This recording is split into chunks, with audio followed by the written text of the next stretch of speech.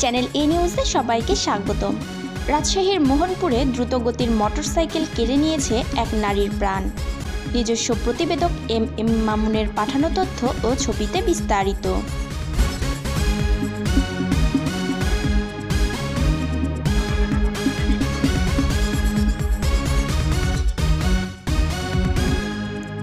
রাজশাহীর মোহনপুর উপজেলার রাজশাহী নওগাঁ মহাসড়ক পার হতে গিয়ে পুষ্প রানী নামের পঞ্চান্ন বছর বয়সী এক নারী নিহত হয়েছেন।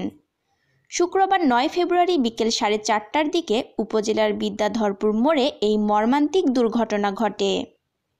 নিহত পুষ্পরানী রাজশাহীর বাগমারা উপজেলার বুজরুকোলা গ্রামের শ্রী অনিল কুমারের স্ত্রী।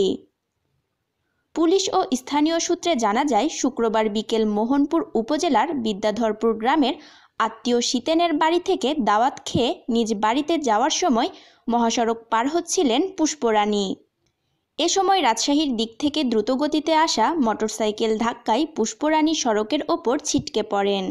পরে স্থানীয়রা তাকে গুরুতর আহত অবস্থায় উদ্ধার করে মোহনপুর উপজেলার স্বাস্থ্য কমপ্লেক্সে নিয়ে আসলে সেখানকার দায়িত্বরত চিকিৎসক পুষ্পরানীকে মৃত বলে ঘোষণা করেন।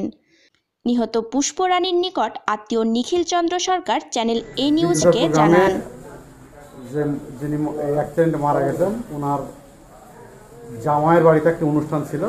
সেই অনুষ্ঠান শেষে উনি ফেরার পথে আমাদের বিদ্যাপুর মোড়ে আসে, রাস্তা হেঁটে পূর্ব থেকে পশ্চিম পারে যাওয়ার সময় একটি দ্রুতগামী মোটরসাইকেল রাস্তার দিক হতে নৌকার দিকে যাচ্ছিল। এমতো অবস্থায় ওনাকে ধাক্কা মেরে দ্রুত পালিয়ে যায় এবং উক্ত ব্যক্তির তৎক্ষণাৎ মৃত্যু হয় এবং স্থানীয় লোকজন সহায়তায় আমরা তাকে দ্রুত মোহনপুর স্বাস্থ্য কমপ্লেক্সে নিয়ে আসি এবং নিয়ে আসার পরে ডাক্তার তাকে মৃত ঘোষণা করে।